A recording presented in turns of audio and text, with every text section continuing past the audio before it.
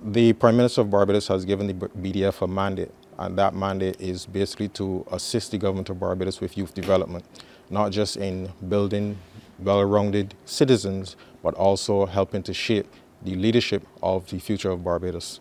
And the Prime Minister has indicated that she has a keen interest in expanding the Barbados Cadet Corps, which is the youth arm of the BDF, and also for the Barbados Cadet Corps and the Youth Advanced Corps to work a lot closer going forward.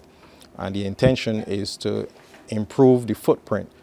At the moment, we have around 1,200 cadets in Barbados, and the intention is to increase that to about 2,000 to 3,000 cadets. The marquee military event, which will be the anniversary church, sorry, the anniversary parade and sunset ceremony, which will be held at St. Anne's Fort on Saturday, the 17th of August.